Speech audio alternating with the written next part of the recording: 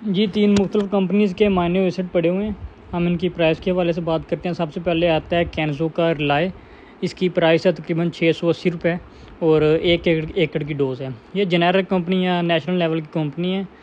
और दूसरा आता है एम्बिशन ये बायर कंपनी है मल्टी मल्टीनेशनल कंपनी है। इसका रिज़ल्ट भी बहुत ज़बरदस्त है। अच्छा रिज़ल्ट है इसका। और इसकी एम आर पी है जो तेरह सौ रुपये है। और जो न्यू एम आर पी आ रही है वो पंद्रह सौ रुपये में आ रही है। इसका रिज़ल्ट भी अच्छा है।